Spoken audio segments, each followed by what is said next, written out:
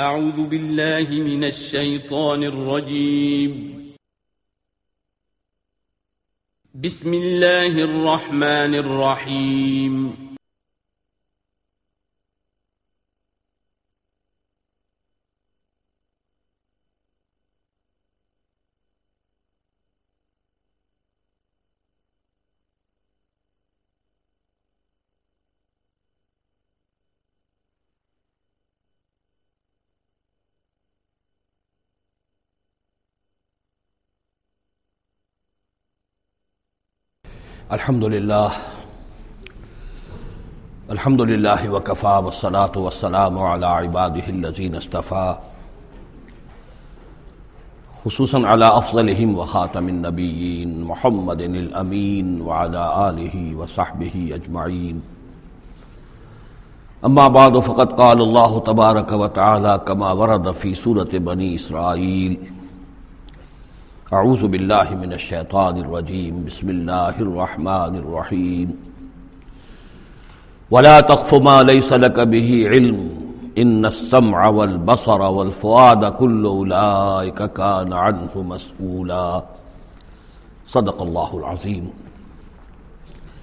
रब इशरह ली सदरी व यस्सिर ली अमरी वहलुल उक़दतम मिन लिसानी यफ़क़हू क़ौली अल्लाहुम्म रब्बना अलहिमना रुशदना वाइजना मिन शुरूर अनफुसिना अल्लाहुम्मा अरिनल हक़्क़ हक़्क़न वरज़ुक़ना इत्तिबाअह वअरिनल बातिला बातिलन वरज़ुक़ना इज्तिनाबह अल्लाहुम्मा वफ़्फ़िक़ना लिमा तुहिब्बु व तर्दा आमीन या रब्बल आलमीन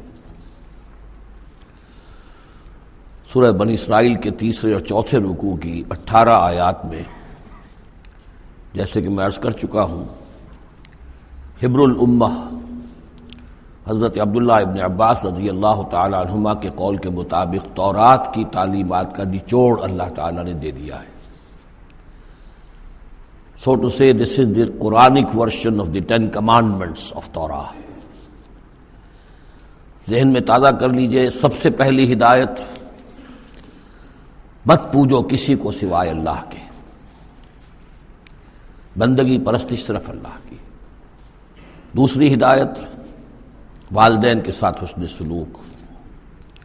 और इस मौजू पर यह कुरान मजीद का जरवा सनाम है। अगर वो तुम्हारे पास बुढ़ापे की उम्र को पहुँच ही जाए तो उन्हें उफ तक मत कहो, उन्हें कभी झिड़को नहीं, उनके सामने अपने कंधे झुका कर रखो। आजजी इख्तियार करो, तवाज़ो इख्तियार करो। हाँ ये कि अगर किसी वक्त कोई बात उनकी रद्द करनी ही पड़े, जबकि तुम्हारे दिल में कोई मैल न हो, सरकशी न हो तो अल्लाह ताला जानता है तुम्हारे दिलों की हालत को अल्लाह मुआफ़ फरमाएगा। तीसरी हिदायत, रिश्तेदारों के हकूक़ अदा करो और मस्क और मोहताजों के और वरबा के मुस्क।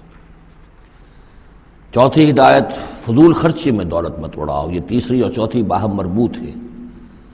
अगर फजूल खर्ची में दौलत उड़ाओगे तो अदाए हकूक़ के लिए पैसे नहीं आएँगे। बल्कि इंसान मसरफ जो है अपनी फाजिल दौलत का करे। हकूक़ का अदा करना उसमें कराबतदार सबसे पहले है। फिर और जो भी मोहताज है, मस्किन है। फिर यह कि अल्लाह के दीन के लिए खर्च करना है।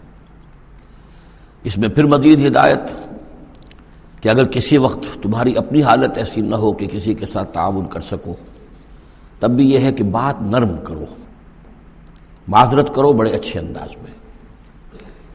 इसी सिलसिले में मजीद हिदायत कि इन सदक़ात और खैरात के मामले में भी इंतहा पसंदी नहीं होनी चाहिए। न ये हो कि आदमी बकील हो जाए और हाथ अपनी गर्दन से बाँध ले कि कोई पैसा निकले ही ना। न ये कि अपने दोनों हाथ खुले छोड़ दे तो फिर यह कि उसे बाद में पछताना पड़े। इसी में मजीद हिदायत, अगर तुम अपने किसी अज़ीज़ का या किसी और बेचारे गरीब इंसान का चाहते हो कि उसका हाल बदल जाए, उसकी हालत बेहतर हो जाए अपनी हद तक जो तुम कर सकते हो, ज़रूर करो। लेकिन यह ना समझो कि तुम किसी की हालत बदलने पर कादिर हो। किसी के रिस्क की कुशादगी या तंगी या सरासर अल्लाह के हाथ में। एक और हिदायत, जना के करीब तक न फटकना। यह बहुत ही बुरी शय, बेहयाई और बुरा रास्ता है। मजीद हिदायत, इंसानी जान का एहतराम, कत्ल नाहक से बचना। और जो शख्स नाहक कत्ल कर दिया जाए उसके वरसा को हम इख्तियार देते हैं। उनके हाथ में इख्तियार होता है कि कातिल को मुआफ़ करें या कातिल से जान के बदला जान जो है उसकी लें। मजीद हिदायत, यतीमों के माल के करीब ना फटकना। लेकिन बहुत उमदा तरीके से उनकी हिफाजत करो, अमानत समझो उसको। यहाँ तक कि वो अपनी बलूगत को पहुँच जाए, फिर यह है कि तुम उनके माल उनके हवाले कर ही दोगे। अहद की पाबंदी करो। जहाँ वायदा हो जाए, वादा हो, उसको पूरा करो। और जब नाप कर देने लगो तो नापो भी पूरा और तोल कर दो तो सीधी तराजू से तोलो। यही बेहतर है नतीजे के एतबार से भी। इसी से जो बकीयतुल्लाह जो बच जाएगा तुम्हारे लिए, उसमें बरकत होगी। और बेईमानी से कम नाप कर, कम तोल कर, कुछ ज़्यादा अगर तुमने फौरी तौर पर हासिल कर भी लिया तो उसमें बरकत नहीं होगी, बल्कि उसमें नवसत होगी। इन तमाम चीज़ों के बारे में फरमाया।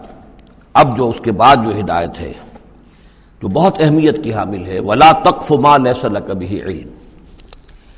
ऐसी चीज़ के पीछे मत पड़ो या मत लगो जिसके लिए तुम्हारे पास इल्म नहीं है। इंसान का बहसीत अशरफुल मखलूक़ात, उसका तर्ज अमल जो है वो इल्म पर मबनी होना चाहिए।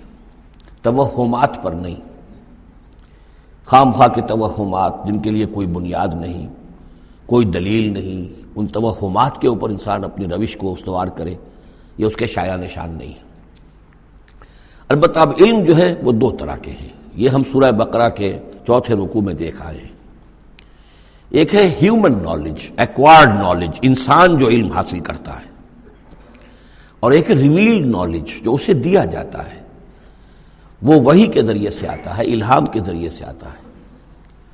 वो रिवील्ड नॉलेज जो है, उसके रिसिपियंट जो है, वो ह्यूमन सोल है स्पिरिट है। ये नहीं है, ये सेंसेस नहीं है, ये दिमाग नहीं है। वही चाहे जली हो, चाहे खफी हो, इल्हाम हो, कशफ हो, रुया सादका हो, कोई विषय हो, उसका ताल्लुक इस हैवानी वजूद से नहीं है, उसका दर हकीकत उस रूहानी वजूद से है, जिसका मस्कन कल्ब है। अब ज़ाहिर बात है कि उसमें भी जो वही खफी आम लोगों को हो जाती है, इल्हाम हो जाता है कुछ और हो वो भी कोई दलील नहीं है। उस शख्स के लिए तो दलील है वो, अगर वो शरीयत के खिलाफ ना हो, लेकिन किसी और के लिए दलील नहीं है।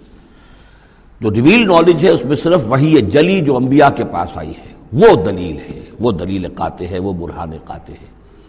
उनके पास जो वही जली आई वो भी, और जो वही खफी आई वो भी।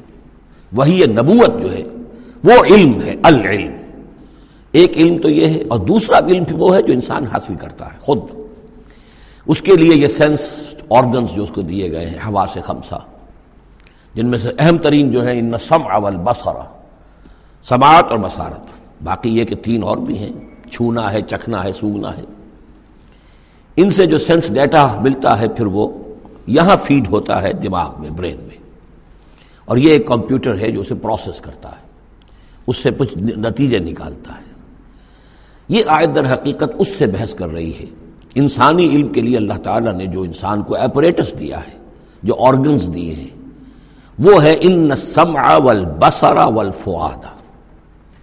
कुल्ला का कान अनहु मसूला, वो समात है, बसारत है और अक्ल है।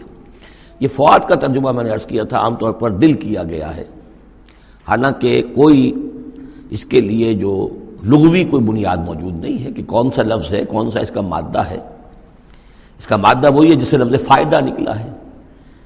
और आपने देखा होगा, पुराने ज़माने किताबों में कुछ लिखा, फिर फे लिख देते हैं। फे, फ़ायदा।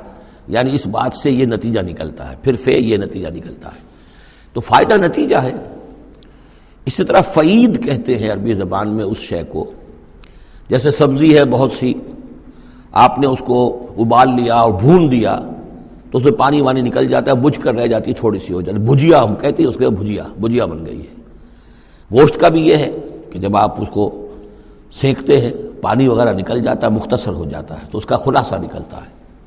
तो सेंस डेटा से जो खुलासा निकालता है, फिर ये ब्रेन कंप्यूटर ये है दर हकीकत फवाद उससे फ़ायदा हासिल करना, उससे नतीजा निकाला उससे इन्फर करना।